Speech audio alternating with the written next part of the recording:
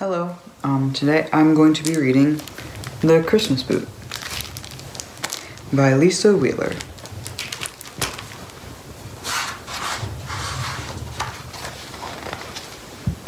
Deep in the forest on a Christmas morning, Hannah Greyweather gathered bundles of kindling wood. For her, this day was no different from any other. As she went about her chores, she chatted to the forest. She talked to the mountains, but mostly she spoke to herself. Brr, she said to the mountain, will this winter ever be over? It chills my bones. The mountain didn't answer.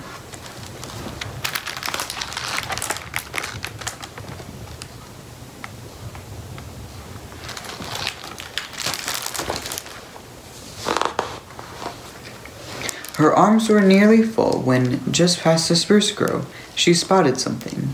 In the snow, deepest black upon purest white, lay a boot. Glory be, Hannah exclaimed to the forest. Who could have lost this? The forest remained silent. And since her feet were fully freezing, and since it looked to be such a nice boot, she slipped her rag wrapped left foot deep within it. Ah, Hannah said, that does feel nice.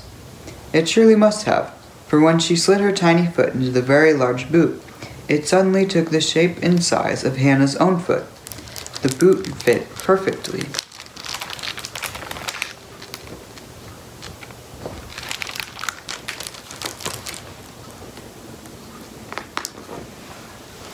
Hannah headed back to her ramshackle cabin, limping her way through the snow. Her warm left foot stepped nimbly as her cold right foot struggled to keep up. This boot was quite a find, Hannah said to the walls of her cabin. Where do you suppose it came from? The walls did not reply. As she slipped into bed that night, she stared at the boot and said, I only wish I had your mate. Then she drifted off to sleep.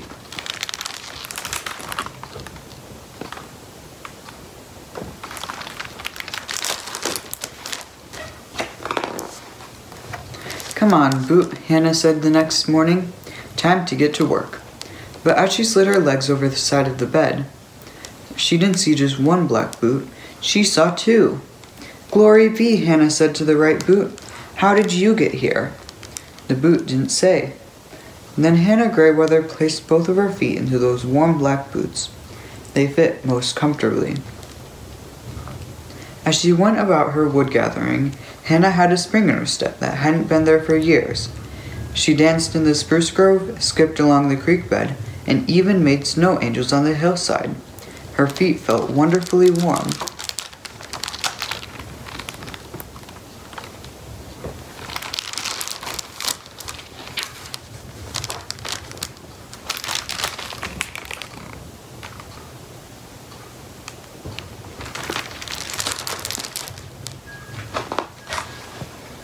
That night, Hannah placed her boots next to her bed and marveled at her good fortune. Such a magnificent find, she said to the left boot. Who could have lost such a treasure as you? The boot stood silent. No matter, said Hannah. I've made good use of you. If only I had mittens as toasty warm, I would be the happiest woman in the world. In the morning, tucked neatly inside each boot was a bright red mitten. Glory be, Hannah said to the boots. What form of magic is this? The boots wouldn't tell. She put on the mittens, and just like the boots, they fit perfectly. If the boot is magic, Hannah said to the mittens, will it give me more? Will it give me a fluffy feather bed, a fabulous feast, a big fancy house? The mittens stayed mute. I suppose I suppose that is too much to ask, said Hannah.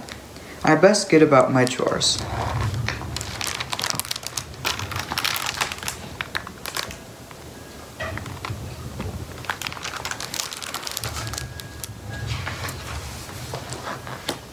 In the woods that day, Hannah's feet and hands felt equally fine. She climbed in the mount she climbed the mountain trail, gathered chestnuts, and built a towering snowman. As she strolled home, an amazing sight met her eyes.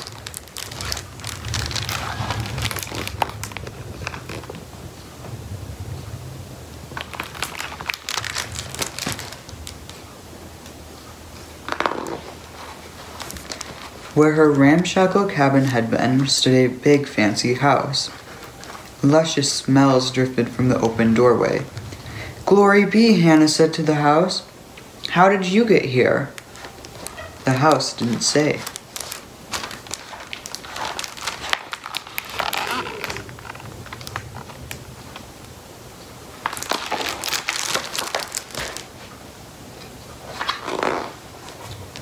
Inside, Hannah wandered from room to room, taking in all the loveliness of it all. She tasted the fabulous foods, she snuggled in the fluffy feather bed. Somehow, it didn't seem fully real.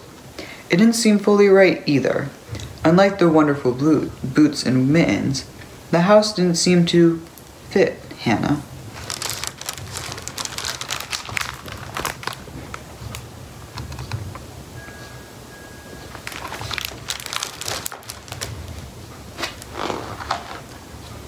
Suddenly there became there came a knock knock knock on the fine front door. Who could it be? Hannah asked the feather bed. I've never had company. The bed stayed silent. She opened the door cautiously, peeking through the crack between the door and the wall. She spied a man with a very white beard. He wore a red hat, a red suit, and one black boot. May I help you? Hannah asked the man. Yes, he answered. I think you may have found something of mine. Hannah was happily surprised to hear that the sound of another voice. She opened the door at once. Glory be, she said. Come in, come in. You must be freezing. Just my left foot, said the man, with a twinkle in his eye. Hannah looked down from her own booted feet. Yes, she said. I do believe I have something that belongs to you.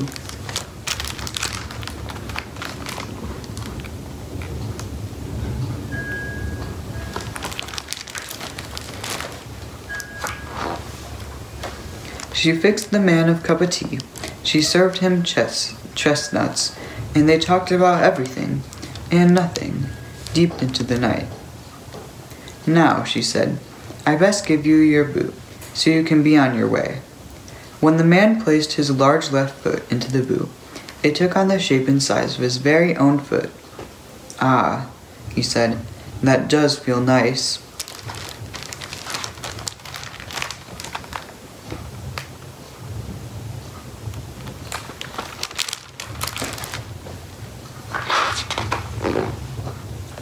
At once, the big fancy house, the fabulous feast, and the fluffy feather bed disappeared. Even her right boot and mittens were gone.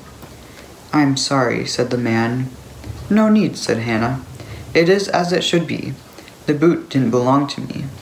But I enjoyed it while it was here. Is there anything I can give you? asked the man. What do you truly desire? What I truly desire is someone to talk to, said Hannah. But warm boots and a pair of mittens would be mighty fine.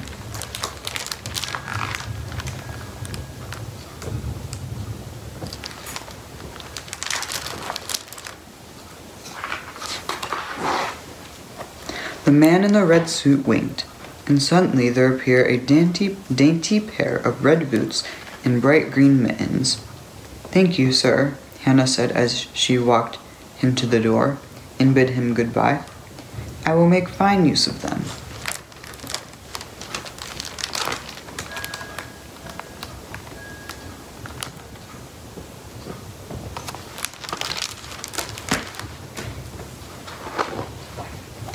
That night, as she climbed into bed, Hannah said good night to her new mittens and boots. Arf, the left boot answered. What? Hannah cried. She peeked inside the boot. Two eyes peered back at her. Arf, arf, she heard again. Then she reached into the boot and pulled out a wiggly puppy into her arms. Thank you, Hannah whispered to the night sky as she held her new friend close. The night sky answered.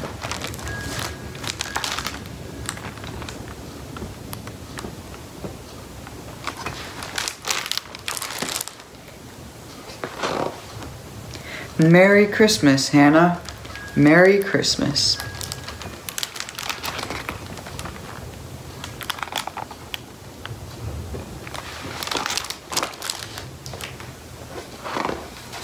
The end.